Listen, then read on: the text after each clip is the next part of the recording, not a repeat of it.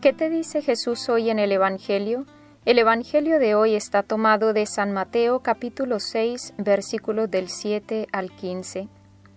Hoy el Señor nos enseña cómo debemos orar, no con mucha palabrería como los gentiles, que creen que por eso van a ser más escuchados, y nos enseña la oración del Padre nuestro, recalcando que si nosotros perdonamos a los que nos ofenden, también nuestro Padre nos perdonará.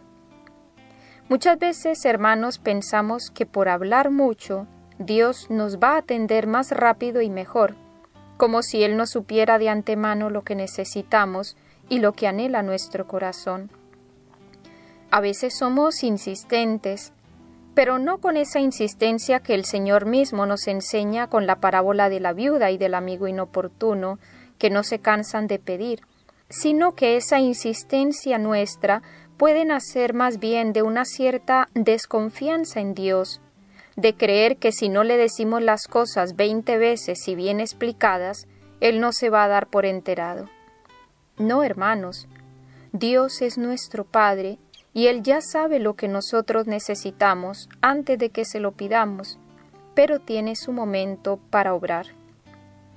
Por otro lado, una cosa es hablar mucho y otra cosa es amar mucho, tener un afecto prolongado. No vayamos a creer que entonces basta con dos minutos de oración en los que yo le exponga a Dios mi problema y ya está. La oración no es solo para pedir a Dios. La oración es sobre todo para amarlo, para conocerlo, para manifestarle nuestro amor, para dejarnos amar y transformar por Él. Orar es hablar con aquel que nos ama, es dedicarle tiempo. No siempre tenemos que estar diciendo cosas, también hay momentos para estar en silencio, escuchando lo que Él nos quiera decir o simplemente amando, como hace el niño que está en brazos de su madre. Está ahí, abandonado por completo. Existe también una manera de prolongar esa oración amorosa a lo largo del día con lo que se llaman jaculatorias.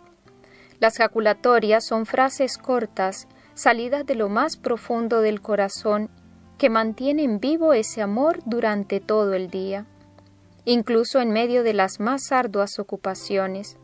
Si voy, por ejemplo, en el carro, si estoy en la oficina, en el supermercado, caminando por la calle, incluso en medio de una reunión, yo puedo, en el silencio de mi corazón, lanzar un dardo de amor a ese Dios que está siempre pensando en mí y amándome. No hace falta saber mucho para hacerlas, hace falta simplemente desear y amar. Y en cuestión de segundos le puedo decir frases al Señor como estas. Señor, tú lo sabes todo, tú sabes que te amo. Todo por ti, Señor. Madre mía, que quien me mire te vea. Inmaculado Corazón de María, haz mi corazón semejante al tuyo. Gracias, Señor, por ser quien eres. Corazón de Jesús, que yo haga siempre lo que a ti te agrada. Espíritu Santo, ilumíname y santifícame. Y muchas otras que se nos ocurran. Esas jaculatorias son como pajitas que mantienen vivo el fuego del amor y sin darme cuenta me mantienen en un estado de presencia de Dios, de paz, de alegría. Hoy el Señor nos enseña también la oración del Padre nuestro, es la oración cristiana por excelencia, salida de boca del mismo Dios. Luego debemos tener mucho aprecio a esta oración. Y a veces nos sucede que como ya estamos tan acostumbrados a decirla, no meditamos bien en las palabras, Quizá esto se refiere también Jesús cuando habla de la palabrería, que muchas veces rezamos oraciones aprendidas y sabidas de memoria, pero sin caer en la cuenta de lo que estamos diciendo. Sería bueno, hermanos, que nos acostumbráramos a hacer el ejercicio de estar atentos a esas oraciones. Tendrían mucho más valor y aún eficacia para nuestra alma si fuéramos más conscientes. No obstante esto, también es verdad que somos tan limitados y hay temperamentos que les cuesta mucho esta concentración que no son capaces de mantener la atención por mucho tiempo. Pero tampoco debemos desanimarnos por eso. El Señor conoce nuestra limitación y nuestra intención. Por eso, si alguna vez vamos, por ejemplo, en el coche y estamos escuchando o rezando el rosario, no creamos que no vale nada solo porque no nos podemos concentrar como quisiéramos. El solo hecho de repetir con los labios esas alabanzas a María le glorifica y le agrada. Y podemos pedirle a ella o a nuestro ángel de la guarda que recoja esas oraciones que le hacemos con la mejor intención, aunque con poca cabeza.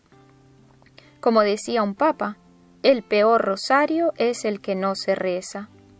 Por eso, hermanos, no desaprovechemos ningún minuto de nuestra vida, porque cada instante podemos acumular para la eternidad y crecer en santidad y en amor a Dios.